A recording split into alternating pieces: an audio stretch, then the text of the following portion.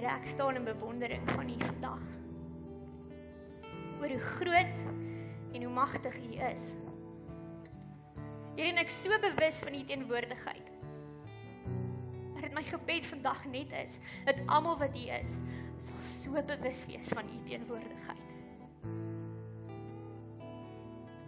Here, laat die ligte en, en selfs ek en die band verdwyn. Maar laat ons hier wees met ons oë en ons harte gefokus op U. Kom ons Skepper Gees, kom leer ons in U waarheid. Here kom doen dit wat net U kan doen. Here ek gee oor. We are here to worship you. En ek bid dat vandag se diens dit sal doen. Here kom skep ons harte, kom vorm ons wese. Dat alles wat ons is vandag, Here Jesus, U sal aanbid in volheid. We love you so much, God. En ek bid Here dat U liefde sal deurbreek. That your love will come open the oceans. Kom mure kom afbreek en kom harte herskep. In Jesus naam. Dankie Here. Amen. Wees ek hier my trooster. Kom ons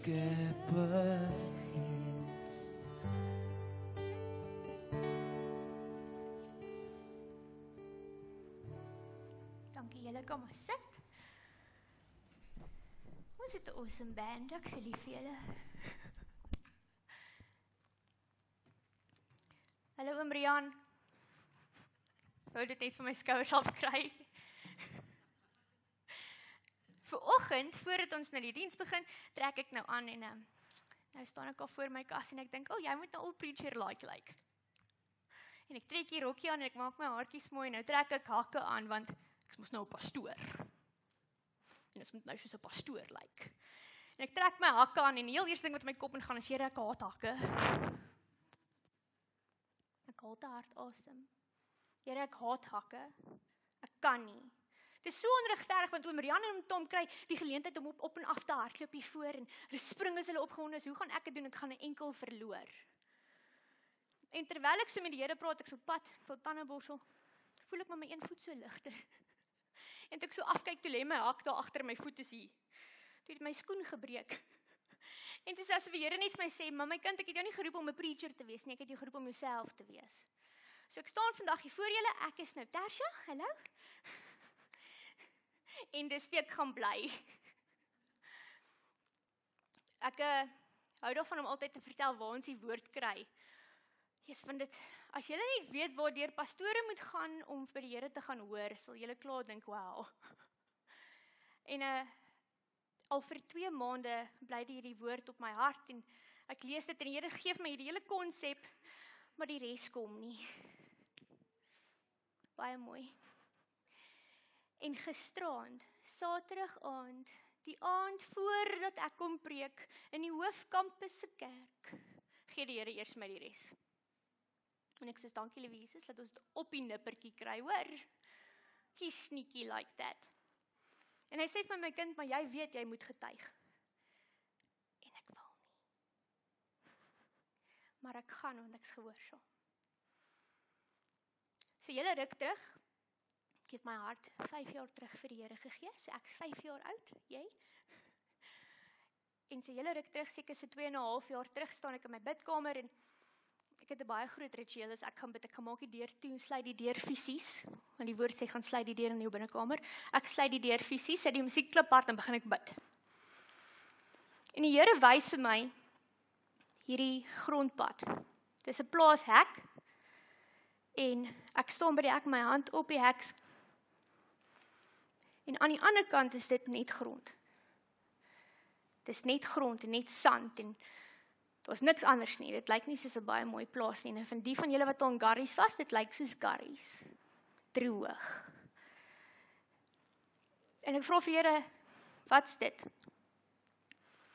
En vir 2 weke bly hierdie prentjie by my kop. Ek droom oor dit, ek word wakker en hierdie prentjie in my kop en ek sê Here, ek verstaan regtig nie. En die Here vra vir my, "Is jy bereid om te loop waar ek sê?" En ek sê, "Ja." Maar moet julle verstaan, toe die Here dit vir my vra, was ek op 'n geestelike hoogtepunt, 'n spiritual high. Ek het nou net my hart vir die Here gegee, ek's opgewonde oor alles. Ons beleef amazing dinge in Jesus se naam. Ek het letterlik beleef hoe mense gesond word. Ek val van 'n emmer af, my arm is seer, my stuitjie is gebreek en hulle bid vir my, dis gesond. Ek sien engele vir die eerste keer. Dit was amazing. Ons kom in 'n bidkamer op Halloween en die krag van die Here val so in daai kamer dat ons almal, ons was 8 mense, letterlik op ons knieë neerval. Nie om uit uit ons eie wil uit nie, maar omdat die krag van die Here so tasbaar teenwoordig was dat ons nie 'n keuse gehad het nie. Nou is ek hier op hierdie spiritual high en die Here vra vir my: "Is jy bereid om my te volg op hierdie dorppad?" En ek sê: "Let's do it." En ek weet mos wie jy is lekker opgewonde en baie naïef. Baie naïef. Ek tog, soos meeste van ons dink, dat wanneer jy deur 'n 'n moeilike tyd gaan, gaan dit iets wees soos 2 maande lank. Nee nee. Vir 2 jaar lank voel dit vir my of die Here toer ver is en ek is hier. Het ek nog steeds woord gekry? Ja. Het ek nog steeds bedien? Ja. Het ek nog steeds die woord van God ervaar? Ja. Want my God sal my nooit vergewe of verlaat nie. Maar wat het in my hart aangegaan? In my hart het dit gevoel of ek in 'n geestelike droogte was wat ek nie aan enige iemand kan verduidelik nie. Dat nou nog as ek daaraan dink, is ek bang dat dit weer gebeur.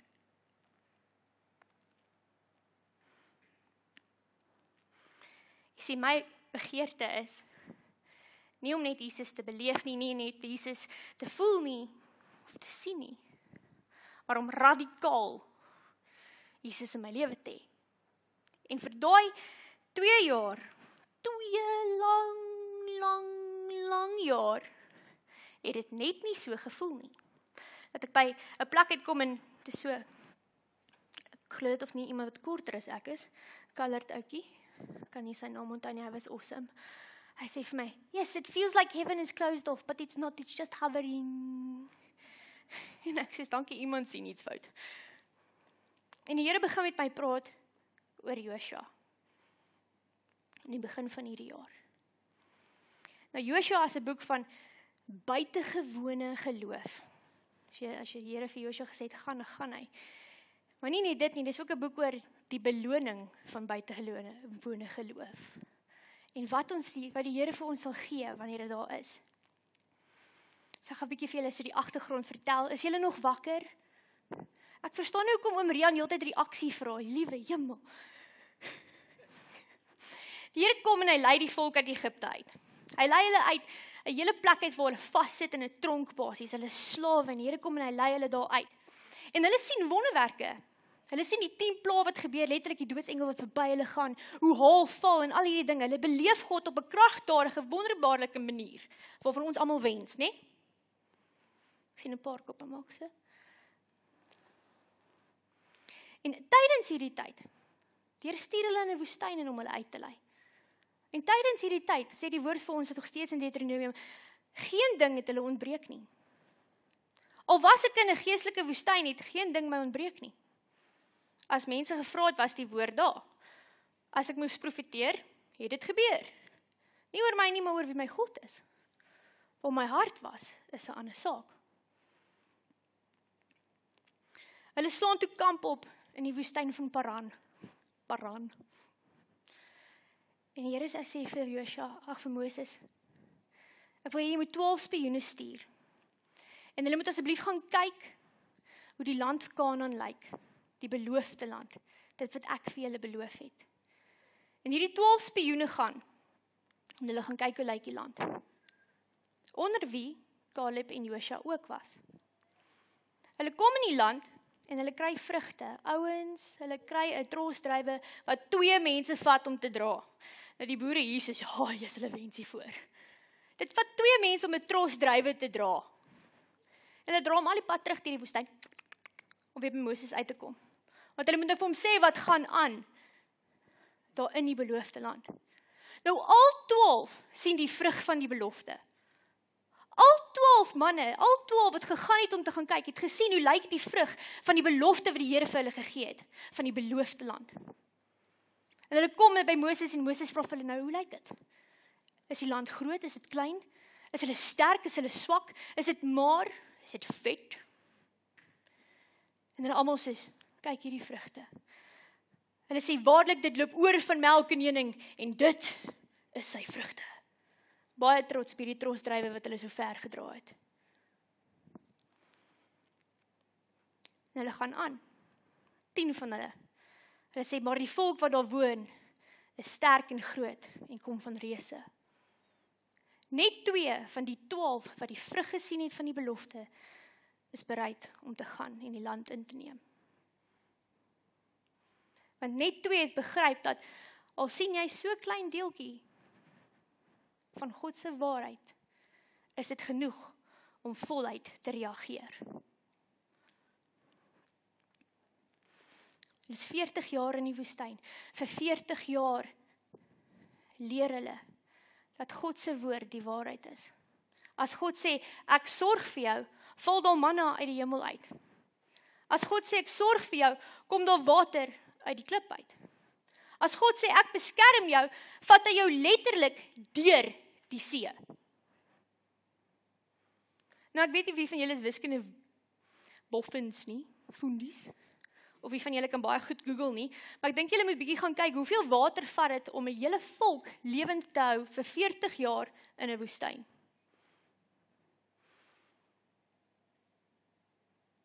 Vir 40 jaar leer die Here hulle ek is betroubaar. Jy kan my maar glo. Hier kom hulle by 'n punt en hulle kom letterlik voor die land wat die Here vir hulle beloof het en hy gee vir hulle 'n stuk van die vrugte. Hy gee letterlik vir 'n bewyse van luister, dit wat ek sê is waarheid en hulle is nog steeds te bang om in te gaan. Moses sterf en Josua word sy opvolger. En die Here sê vir Josua, jy gaan hulle hier invat. Nou arme Josua ouens. Hy loop nog 'n heel pad saam Moses. Moses wat die aangesit aangesig van God beleef het, wat God letterlik as 'n vriend aanskou het en nou moet hy ewe skielik in sy trefvoete intree, sy skoene intree. okay. Die Here sê vir Josua, jy vat my volkie in. En vir 40 jaar loop hulle deur die droogste grond, die swaarste tye. En net voor hulle, reg voor hulle, is dit wat die Here vir hulle beloof het. Is dit waarvoor hulle al 40 jaar lank bid en droom, smag. En wat's voor hulle? 'n Rivier. Nou ek weet nie van hoeveel van julle kom by 'n punt wat julle heeltyd deur 'n tyd is wat jy swaar kry. Wat jy sukkel. Wat jy fisies letterlik net nie meer kan nie. En dan dink jy, "Yes, hier's die einde. Woe, ek's nou klaar." En nou, kom maar nog iets. Dan sê soos regtig, Here, nog iets? Jy kom by 'n punt wat jy sê, Here, ek weet nie meer of ek hierdie kan doen nie. En dan raai wat? Nog iets. Hoeveel van julle het al so gevoel? Vir 40 jaar loop hulle elke dag dink hulle ek gaan vandag sterf. Ek gaan nie hierdie kan doen nie. En net voor die einde, net voor hulle beloofde land, reg voor die eindstreep is daar wragtig nog 'n rivier. En nie net 'n rivier nie, die woord sê vir ons op daardie stadium was die Jordaan in oorstroming. Josua 3 vers 15 sê vir ons hy was vol op al sy walle al die dae van die oes. Die een verdaling sê vir ons dit so mooi, het oor al sy oewers geloop. Nou ek is nou skieurig, toe dog ek liewe Jesus, mens kry nou 'n riviertjie wat oorloop en jy kry 'n riviertjie wat oorloop. Ons het in Garries gebly. En daar's 'n rivier en ons het net soontoe getrek my ma love dit om hierdie storie te vertel.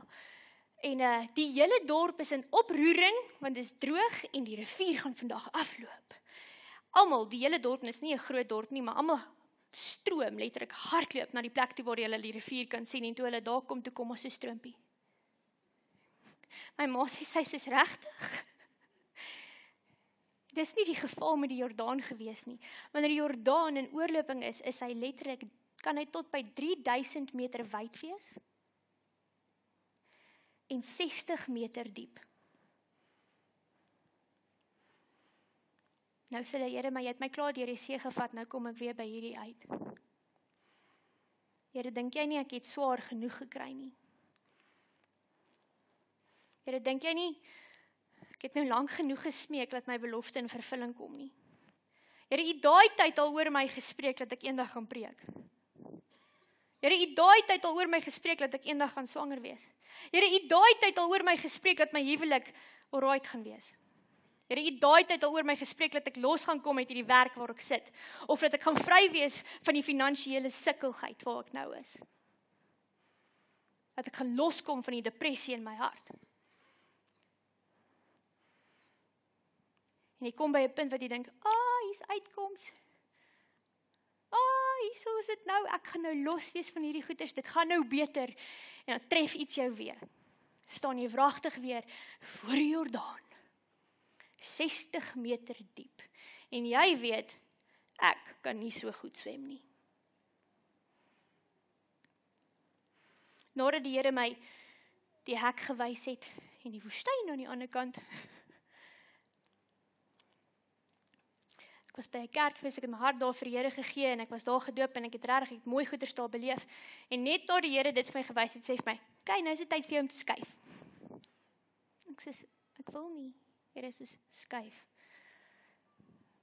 Op daai stadium ook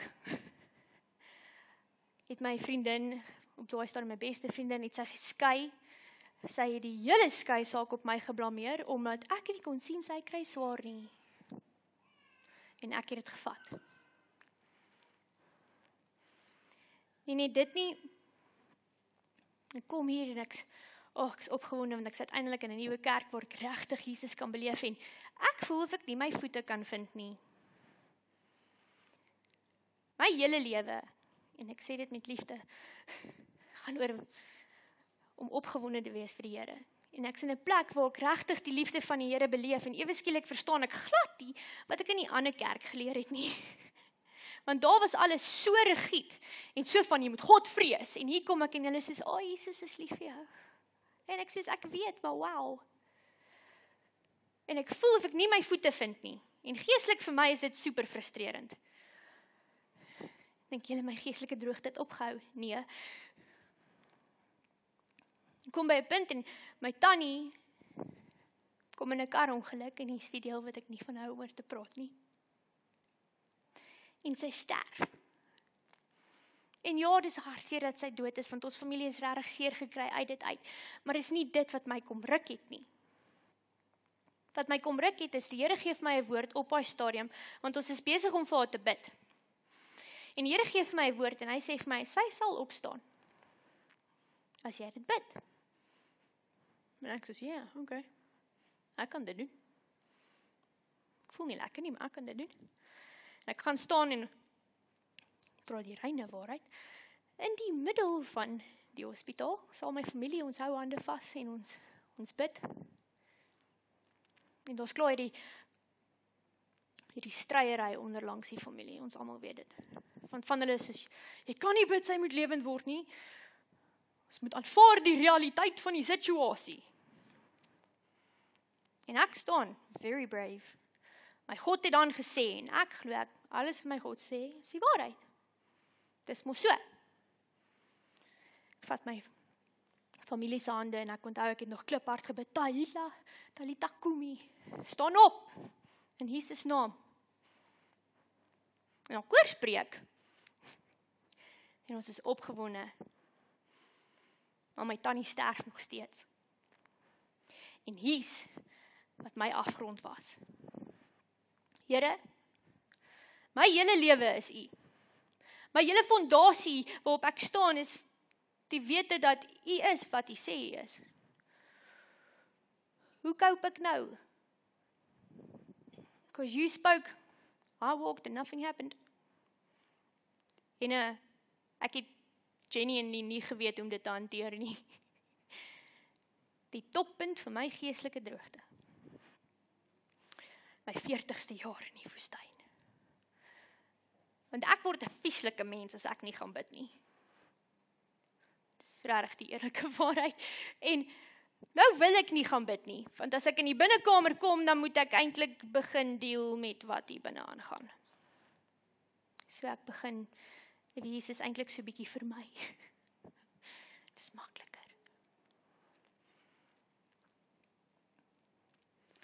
Intussen bly die Here vir my woord gee oor 'n 'n toekoms, oor iets oor iets wat gaan uitbreek, iets mooi wat kom en ek sê, "Oké, okay, Here, ek hoor jou.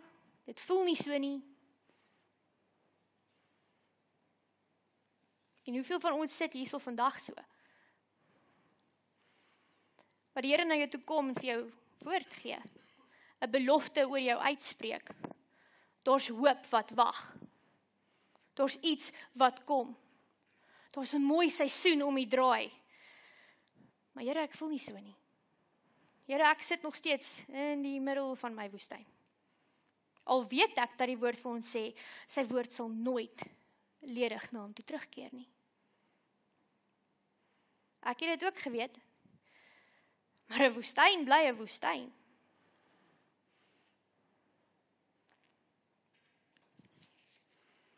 Die seer bly seer. Ek luister op daai stadium luister ek so 'n Australiese prediker en ek beloof ek het gaan Google, ek kan nie sy naam onthou nie. En ek kry hom nie. En die hele preek het ek vergeet. Maar hy het een ding gespreek wat oor my daai stadium op my hart ingeplanteer het. En hy het gesê hy is 'n regte Wackaberry Bush Christian. 'n Wackaberry Bush Christian. En uh, ek dink, "Wat?" Hy sê hy's so gewoond dat hy staan op die heuwel, dan val hy, rol hy af en sy tussen die bosse, dan moet hy weer opstaan en weer heuwel toe gaan. Staan hy op die heuwel, dan val hy, rol hy af, weer in die moeilikheid teruggaan. Hoeveel van ons voel, Here, ek het nou net die dinge onder beheer. Here, ek is nou net op 'n plek waar ek u stem so lekker hoor, ek weet presies waartoe ek gaan en dan pa, by die heuwel af. Dan moet ons maar weer opklim. En ek tog, Here, as hierdie man dit kan sê wat regtig besonder is, besonderse stories vir ons kan vertel van die Here se krag, dan sê ek nog. Okay. En net deur dit gee die Here my net so bietjie water om nog in die woestyn te kan oorleef. Ek kom by 'n plek en ehm um, ek vra vir die Here, okay?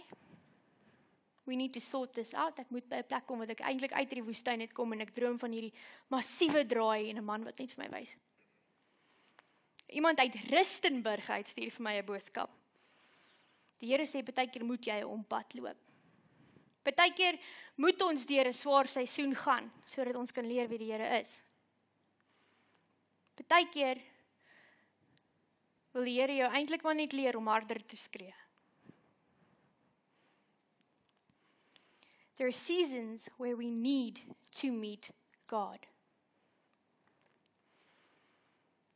Jesaja 52 vers 2. Skud jou lof uit die los uit die stof. Staan op. Sit neer oor Jerusalem. Maak los die bande om jou hals, o gevange dogter van Sion. Die Here kom letterlik na my toe en sê: "Skud jou los uit die stof uit. Staan bietjie op. Lank genoeg het jy in hierdie woestyn geloop, is tyd dat jy iets doen." En ek sê: "Sjoe, Here." En ek wil vandag vir julle baie boldly sê dat die Here dit nie net vir my gespreek het nie, maar vir baie kinders van die Here vandag wat hier sit. Vir baie wat luister. Hoe lank gaan ons kies om in 'n woestyn te bly? Hoe lank gaan ons onsself jammer kry? Hy sê, skud jouself los uit die stof uit. Besef met wie jy praat en besef wie ek is. Dawid kom en hy roep uit in Psalm 102. Hy sê: "Here, hoor my roepgebed en laat my hulpgebed by U kom." Platgeslaan soos plante en verdor is my hart. Ek is slapeloos en het geword soos 'n eensame voël op 'n dak. Baie van ons sit in situasies al so lank dat dit presies is hoe ons klink. Here, ek soos 'n eensame voël op 'n dak. Niemand sien my nie. Niemand help my nie. Kan jy maar net my hoor? Here gaan aan in Psalm 102 en hy sê: "U sal opstaan en u oor Sion ontferm, want daar is 'n tyd om hom genadig te wees, want die bestemde tyd het gekom." Die bestemde tyd het gekom. Lank genoeg het die kinders van die Here in 'n woestyn gesit. Letterlik gesit en gesug. Die bestemde tyd het gekom. Dis tyd dat ons moet opstaan en die stof van ons rug afstof. Dat ons moet losmaak dit wat ons vashou. Oom Rian het laasweek so mooi gepreek, uiteindelik my hele preek gesteel. Hy sê daar's hoop wanneer jy begin beweeg. Hoop is in die aksie. Joshua kom Hulle staan voor die Jordaan. En op die woord van God sê hy vir die priesters: "Dis tyd dat julle in die water in te gaan." Hy sê: "Gaan staan in die water." God sê letterlik vir hulle: "Gaan klim in dit wat voor julle belofte staan. Gaan klim in die hindernis, in hierdie obstakel wat voor dit staan wat ek al vir julle vir jare beloof het, gaan klim in dit in." Met ander woorde sê hy vir hulle: "Gaan gryp die bil by die horings. Gaan doen iets. Gaan vas, gaan bid, kom roep uit tot my, beweeg. Maar doen net iets." Hy sê vir die priesters: "Klim in die water." En hy 60 meter, 3000 meter, 60 meter diep, 3000 meter wyd Jordaan moet hulle gaan inklim. Hy sê nie gaan spring in nie, Hy sê gaan loop in. Die Here praat met Gideon in Rigter 7. Hy sê vir hom: "Gaan af na die vyand se kamp toe. En as jy bang is, vat iemand saam. As jy nie weet wat om te doen nie, kry iemand om saam jou te bid." Maar hy sê vir Gideon: "Gaan af in die kamp van die vyand. Moenie hier bly nie. Stap af in die middel van die aand na die kamp van die vyand toe." En toe hy daar is, toe hy in die middel van die kamp van die vyand is, toe hoor hy die plan van God. Hy hoor hoe twee van die vyande praat en sê dat hulle bang is. Hy hoor in die middel van die kamp van die vyand, in die middel van die gehoor, gemors, hoor hy letterlik die plan van die Here. Waar sien ons die krag van God? Die oomblik as jou voete die Jordaan tref. Die oomblik as jy besluit, Here, ek gryp die bil by die horings.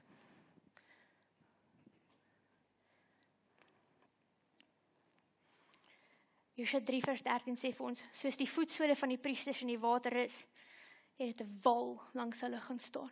Die oomblik toe hulle voete daai water raak, toe sien hulle die krag van God. En ek weet nie van julle nie, maar as al 60 meter diepe water ewe skielik so langs my gaan opstyg, gaan ek begin vrees. En hulle het bly staan. The moment we are brave enough to enter the waters is the moment we'll see God's glory. Sodra jy begin aksie neem, gaan jy iets begin sien gebeur.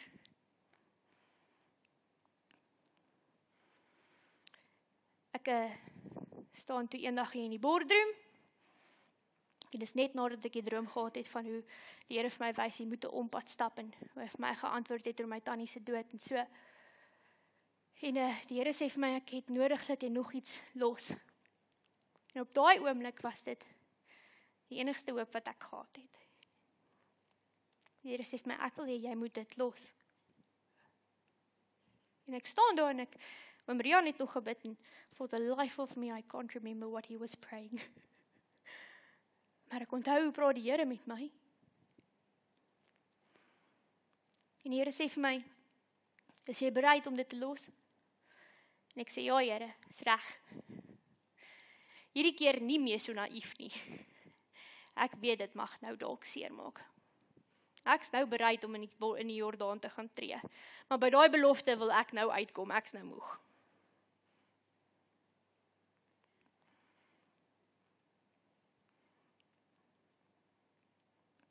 En dit was seer en dit was swaar. En dit was moeilik. En ek het nog daai dag geworship en toe ek staan en ek worship vir die eerste keer, toe was ek vry. In 'n lang tyd. Nie net taamlik vry nie, free. Wat ek weer in tale kon begin sing en die Here so begin beleef het dat my hart begin ruk het weer. Sodra jy bereid is om in die water te tree, is dit vir jou makliker om die Here te eer. Joshua hulle kom en hulle is deur die Jordaan. En die Here sê vir hulle nou is dit tyd om 'n altaar op te bou. Gaan terug in die Jordaan in. Jy sien die beloofde land, gaan terug asseblief. Gaan in die Jordaan in en kry klip.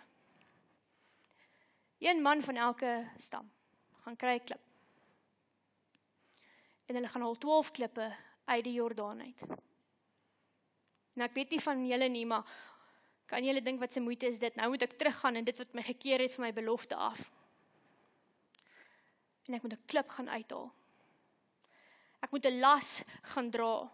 Dis iets wat swaar is, dis iets wat seer is, dis iets wat moeilik is. Dit vat moeite. Om deur iets te kom vat oor die algemeen moeite. Ons gaan nooit God leer ken op 'n nuwe vlak as ons nie bereid is ons eintlik sê bereid is om hom te leer ken op 'n nuwe vlak nie. As jy nie op 'n punt kom wat jy sê Here, ek kan nie meer nie, gaan jy nooit weet dat die Here kan nie. Here, ek het liefde nodig. As jy nie op 'n punt kom wat jy voel Here, ek het niks liefde nie, gaan jy nie die Here se liefde kan beleef nie. Nie op 'n nuwe manier nie. To witness God in a new way, you need to be molded in a new way.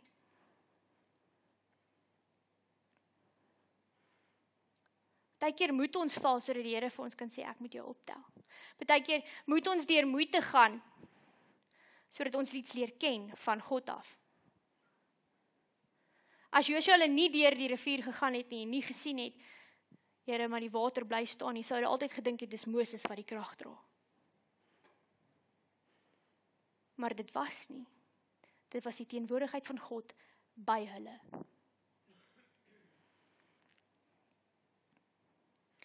Hulle gaan en hulle gaan kry klippe terug in die Jordaan. En hulle bring die klippe tot aan die ander kant waar hulle belofte is. Die Here help jou deur jou situasie en hy sê dis nou die tyd om jou deur hierdie ding te kry. Net wanneer jy voel jy's by breekpunt, kry ek jou deur. Maar jy het nodig om my te eer in hierdie plek. Jy vat daai swaar kry wat jy gedra het deur hierdie hele tyd en jy eer my. En ek vra vir die Here, hoekom moet ek verduidelik hoekom ek deur hierdie tyd gegaan het?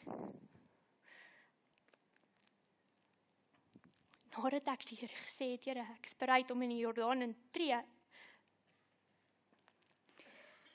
Die 2 jaar se belofte is op eenmalig op een slag. Als tot vervulling gekom. Ek is binne 4 maande aangestel as jeugpastoor getroud met 'n man wat God ken. Ek het tot 12 kg verloor. Waar ek lank gebid het, ouens. Vrouens, julle weet hoe dit voel. En die grootste ding bo alles. Ek beleef weer my God. Ek beleef weer my Here op 'n drastiese manier. Ek beleef weer waar engele staan en so verby mense loop en sê die Here vir my dit van hulle. Ek hoor weer sy stem. En ek's dankbaar. Toe ek my voet in die Jordaan sit, toe kom al die beloftes. Eenmalig. Een slag. Ons is getroud in 'n kwessie van 2 maande. Ek het 'n huis wat vol is. Ek weet nie hoe nie. Ek beloof ek weet nie hoe nie. My ma sê nou vir my, jy het appliances waaroor ek al vir 40 jaar droom. Wanneer my God 'n belofte spreek, it comes true. Al vat dit vir my om 40 jaar in 'n woestyn te wees en by 'n plek te kom wat ek sê, Here, ek kan nie meer nie. Dit was so erg dat ek regtig eerlikwaar op 'n stadium gesê, Here, ek gaan ek is bereid om my eie lewe te neem. Want as ek jou nie voel nie, is lewe in elk geval nie die moeite werd nie. Dit so erg is wat ek letterlik gesê, Here, ek kan nie meer nie. En dis daar. Dis daar wanneer jy weer voor hierdie helse rivier staan, voor die Jordaan, al 40 jaar se woestyn. Where we truly meet God. Joshua gaan nadat almal hierdie 12 klippe opgestaan en altaar vir God gebou het, kom Joshua en hy gaan op sy eie hy vat 12 klippe en hy maak 'n altaar in die middel van die rivier. No one's going to see it. The water's going to come. Die water gaan daai klippe toefou weer. Maar hy doen dit. Want hy sê Here, ek is dankbaar u het my hier deur gekry.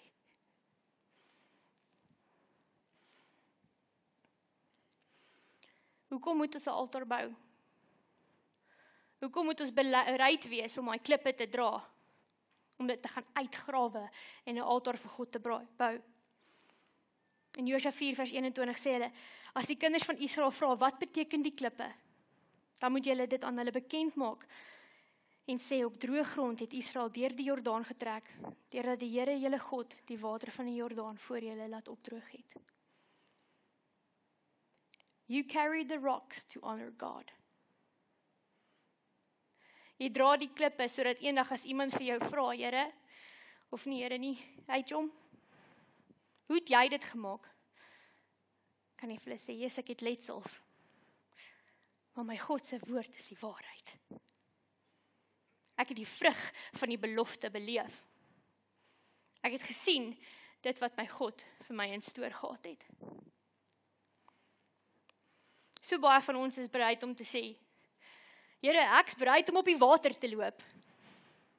Want as ek op die water loop, it entails glory for me. As ek op die water loop, gaan ek vir iemand kan sê, "Hey, Jom, ek het op die water geloop."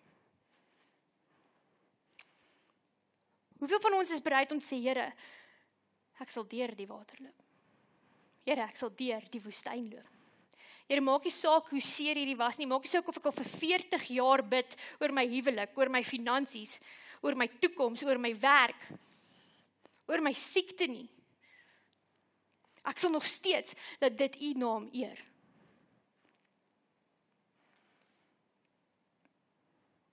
Ek vra vanoggend voor die diens vra ek vir die Here, Here, wat moet ek sien? Ons bid altyd en ons vra altyd vir die Here vir 'n profetiese woord. En vir die afgelope 2 maande vandat ek gehoor het ek gaan trou en verloof is, droom almal ek is swanger. Hulle weet is dis bietjie vinnig. En vanoggend sit Lelani en Amanda op die op die, op die stage. En die Here sê vir my sien jy dit? Twee sanger dames op die stage. En Brian praat nou reg van Oom Tom se se gebed for those in the womb. Daar kom 'n nuwe tyd. En soos die Here vir ons gesê het in Psalm 102, want die bestemde tyd het gekom. Daar kom 'n tyd wat die kinders van God nuwe dinge gaan begin beleef. Groter tree, giant leaps in the name of Jesus. Maar ons moet bereid wees om te sê, Here, ek is nou moeg om in die woestyn te sit. Sorry, maar ek gaan 'n bietjie kras wees. Ek is nou gatvol vir die woestyn. Ek is moeg vir my finansiële droogte. Ek is moeg vir 'n vir 'n huwelik waar ek heeltyd sukkel. Vir 'n werk waar ek nie wil wees nie. Vir 'n geestelike droogte. Die oomblik as jy sê Here, ek is oor dit. En ek gaan nou iets doen Ek gaan aksie neem. That's when the birth will happen. Daar's 'n groot afwagting vir 'n kerk wat in Jesus se naam dinge begin doen. Wat begin beweeg in die beloofde land in. Maar dis ons keuse om te sê, skud ek die stof van my af vandag en staan ek in die Jordaan om deur te loop. Of kies ek maar om nog 'n rukkie in die woestyn te bly.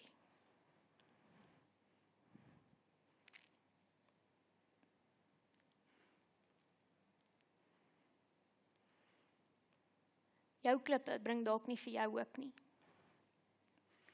Maar jy het geen idee hoeveel mense se harte en se lewens jy gaan aanraak. Sodra jy gaan begin praat van dit nie. Sodra jy hulle gaan begin sê, dis wat hierdie klippe is. Dis hoekom ek 'n altaar gebou het en dis waardeur die Here my gehelp het. Hier sit menigte mense hier vandag in situasies wat ek nie eers kan begin dink nie. Wat bereid is om te sê, Here, ek wil asseblief uit my woestyn uitklim. En soos Maria vir ons laasweek gesê het, jou hoop is wanneer jy begin aksie neem. Dis wanneer jy begin opstaan en sê, ek's bereid om net een tree in die woes in die rivier in te gee daai een tree is genoeg. En sodra jou voet so daai daai water gaan tref, gaan jy wal staan. Kom ons sluit ons oë.